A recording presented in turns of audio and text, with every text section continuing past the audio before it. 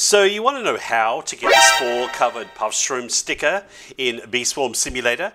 Well, the best way to do it is to obviously do puffshrooms, but uh, well, you want to do it in a particular place. You want to use the 15 strat, which basically means get the puffshrooms into the 15B gate and have a at least three to four players all helping to move them around. And I'm using some footage here from Ms. Rosie Bee. So thanks a lot. Go oh. subscribe to her channel, guys. She's doing some great videos right now and working through the Bee Swarm quests.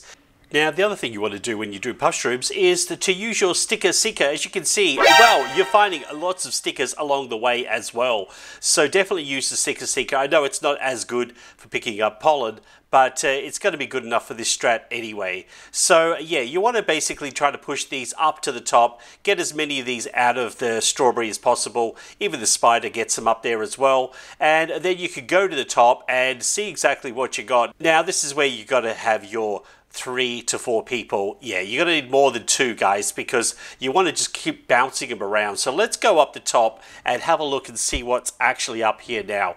We got something in pumpkin, something in cactus, and even some in pine. And boom, there we go. Oh, the puffshroom had a sticker on it. So this is what you're looking for. This is how you're going to get your spore covered puffshrooms. And uh, well, the more of these puffshrooms you do, the more chance you've actually got to get one of these things. Now you want to put someone in mountaintop as well to push them back down too. But hopefully everybody gets one of the spore covered puffshrooms from this little exercise. And uh, you'll be surprised guys, it actually, if you can bounce around enough of these puffshrooms, it happens pretty quickly. And uh, well, yeah, no, I've already got one as well. Uh, you can only collect one, I believe. So you may have to use an alt if you want more than one. And they're very good, guys. You get a stack boost of 2% tools from pollen, and you get a few soft waxes as well.